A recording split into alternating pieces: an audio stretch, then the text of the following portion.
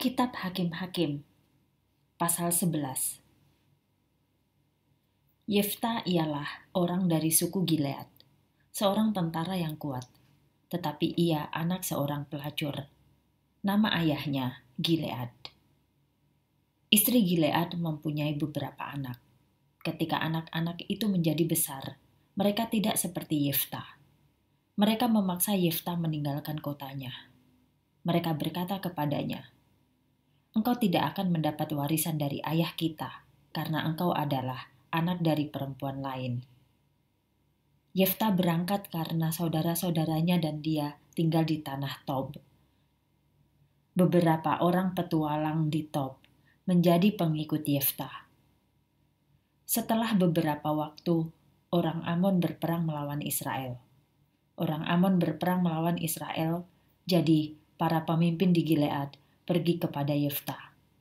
Mereka meminta Yefta untuk meninggalkan Top dan kembali ke Gilead. Mereka berkata kepada Yefta, Mari, dan engkaulah menjadi pemimpin kami, supaya kami dapat melawan orang Amon. Yefta berkata kepada pemimpin Gilead, Kamu telah memaksa aku meninggalkan rumah ayahku. Kamu membenci aku. Jadi mengapa kamu datang kepadaku sekarang ketika kamu berada di dalam kesulitan?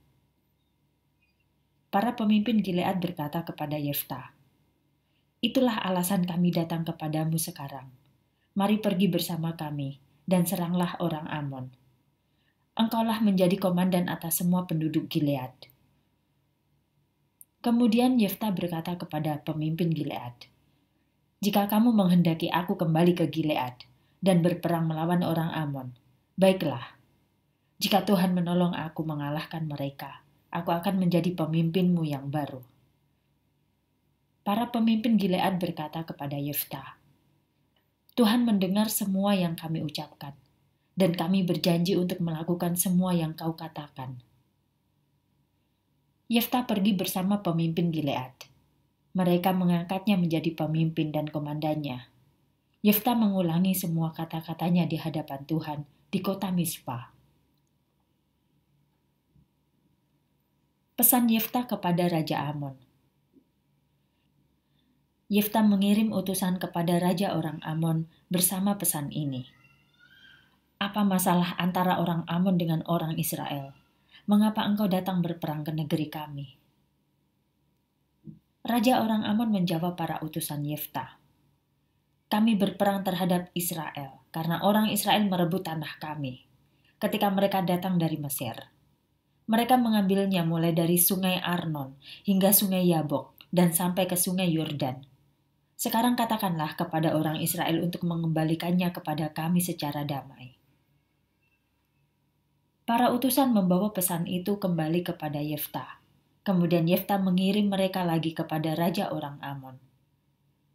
Mereka membawa pesan ini. Inilah yang dikatakan Yefta. Israel tidak merebut negeri Moab, atau negeri Amon. Ketika orang Israel datang dari Mesir, mereka pergi ke padang gurun. Mereka pergi ke Laut Merah dan kemudian ke Kadesh. Orang Israel mengirim utusan kepada Raja Edom dan berkata, Izinkanlah kami melewati negerimu. Tetapi Raja Edom tidak mengizinkan kami lewat dari daerahnya. Kami juga mengirimkan utusan kepada Raja Moab. Tetapi ia juga tidak mengizinkan kami lewat dari daerahnya maka Israel tetap tinggal di Kadesh. Kemudian orang Israel berjalan lewat padang gurun dan mengelilingi Edom dan Moab. Mereka berjalan di sebelah timur negeri Moab dan berkemah di seberang sungai Arnon. Mereka tidak memasuki perbatasan Moab. Sungai Arnon merupakan perbatasan Moab. Kemudian orang Israel mengirim utusan kepada Sihon, raja orang Amori. Sihon adalah raja kota Hesbon Para utusan itu berkata kepadanya, Izinkanlah kami melintas dari negerimu. Kami mau pergi ke negeri kami. Namun Sihon tidak membiarkan orang Israel melintasi perbatasannya. Sihon mengumpulkan seluruh pasukannya untuk berkemah di Yahaz. Kemudian orang Israel berperang melawan Amori. Tuhan Allah Israel menolong orang Israel mengalahkan Sihon dan pasukannya maka Israel menduduki dan memiliki semua negeri orang Amori. Mereka menduduki dan memiliki semua wilayah orang Amori, mulai dari sungai Arnon hingga sungai Yabok, dan dari padang gurun ke sungai Yordan. Tuhan Allah Israel telah memaksa orang Amori meninggalkan daerahnya, dan dia memberikan negeri itu kepada orang Israel. Apakah engkau pikir bahwa engkau dapat membuat orang Israel meninggalkan negeri itu? Pastilah engkau dapat tinggal di negeri yang diberikan Kamos Allahmu kepadamu. Jadi kami pun akan tinggal di negeri yang diberikan Tuhan Allah kami kepada kami.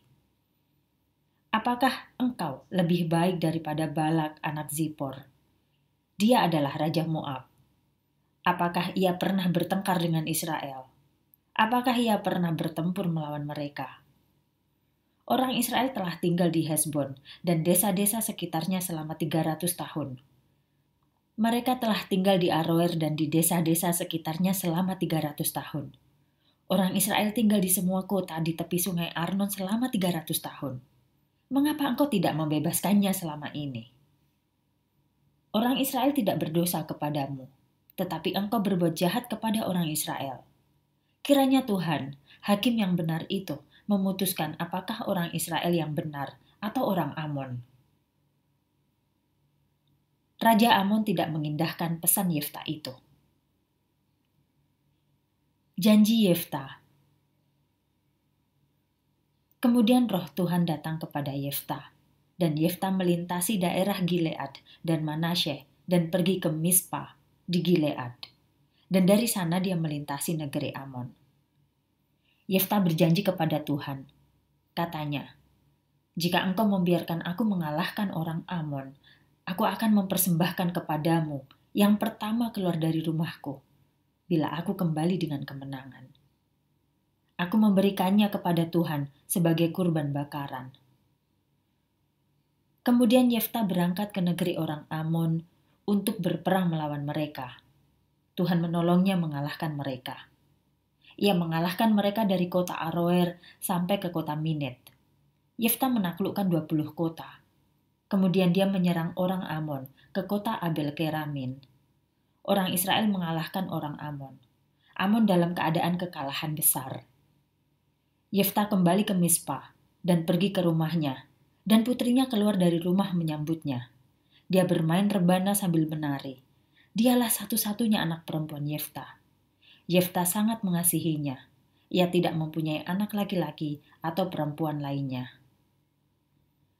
Ketika dia melihat anaknya itu, yang pertama keluar dari rumahnya, dia merobekkan pakaiannya, menunjukkan kesedihannya.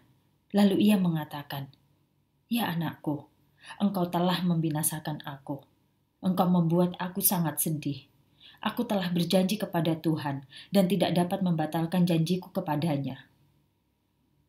Kemudian anaknya berkata kepadanya, "Ayah, engkau telah berjanji kepada Tuhan, jadi peganglah janjimu.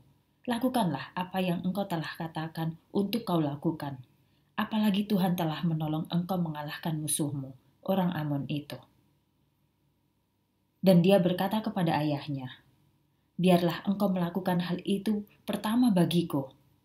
Biarkanlah aku sendirian selama dua bulan." Biarkanlah aku pergi ke gunung-gunung. Aku tidak akan kawin dan mempunyai anak.